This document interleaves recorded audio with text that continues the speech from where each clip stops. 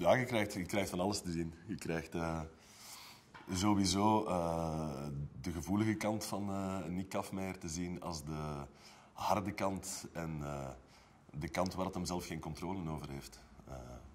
het is in dat opzicht een, zeer rijk personage dat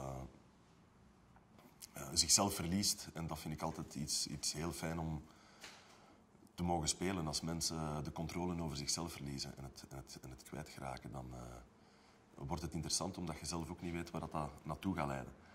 Um, maar in dit opzicht, uh, heel veel romantische scènes zitten er niet in deze film. Maar de ontroering zit ergens anders.